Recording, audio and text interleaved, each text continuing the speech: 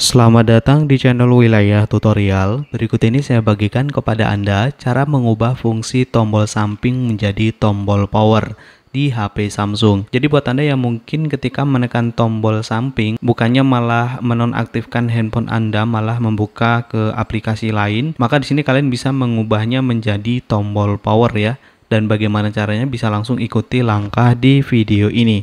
Seperti yang ada di handphone Samsung saya ini, di mana ketika saya tekan tombol power itu malah masuk Bixby ini ya teman-teman. Jadi di sini apabila Anda menginginkan tombol samping ini menjadi tombol power untuk mengubahnya itu kalian bisa langsung masuk aja di bagian pengaturan pada HP Samsung Anda.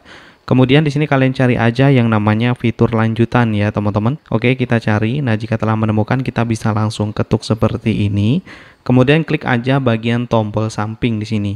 Nah, ini tadi teman-teman. Jadi ketika kita tadi menekan tombol samping, fungsinya itu bukannya menjadi tombol power, tapi malah mengaktifkan Bixby ini teman-teman. Jadi untuk menjadikan tombol power, kalian tinggal ketuk aja di sini untuk menu matikan daya. Nah, di atas ini juga bisa kalian ubah jika perlu. Jadi kalau tekan dua kali itu buka kamera, kalau ingin kalian ubah ke buka aplikasi tinggal ketuk aja seperti ini.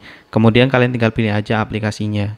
Nah, di sini saya biarkan saja. Nah, jadi teman-teman ketika saya tekan tombol samping ini, ini fungsinya menjadi tombol power ya, karena kita udah ubah menjadi menu matikan daya.